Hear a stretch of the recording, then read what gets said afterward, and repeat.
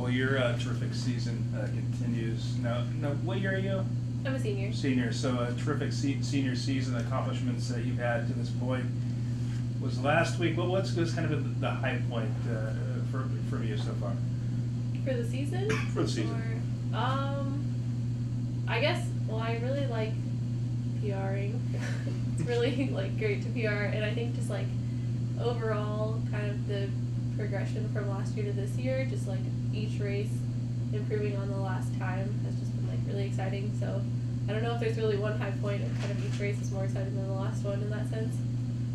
What uh, you know the uh, the conference and then the conference championships uh, in, in been there and uh, uh, how how you know you you've won events this year, but uh, what is like the win at, at conference? Um, is there any, is it extra special? Is it just another win? What's the the thought of that? It was pretty exciting. Um, it's something that I never saw myself doing before this season, or I guess before this year. Um, so it's kind of, I don't know, surreal almost to me. Like I just, I didn't even like think of myself as someone who could do that. So it was just really exciting. yeah. Why was that? You, you, Um, I just, I had pretty, I had really big improvements this year from the previous years. Um, I just, I don't know, something just worked a lot better for me. So, yeah. Um, you're competing this weekend. Yeah, I am. Uh, what what events uh, or what event will you be uh, competing in? I'm gonna run the 5K.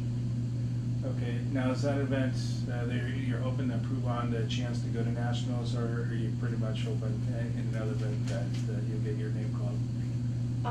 I guess it's kind of between the 5K and the 10K, so I don't really have to improve by, by very much in the 5K to go up a lot of places in the national rankings. Um, and I kind of am sitting on the edge in both of the races on whether or not I'm gonna go or not. So, kind of the hope for this weekend is to get a more secure spot for the 5K, um, but it doesn't necessarily mean that I'm not going to go for the 10K. Um, have you thought about it all? I mean, this hopefully isn't it, but it, it could be it for you for HSU and your career this weekend. Um, I like to not think about that because that kind of is just more stressful and would kind of is like not having any hope. So I'd rather have hope. That, that. that's fine. That's all I got? Yeah. Thanks, Annie. Thank you. I appreciate your time. Thanks.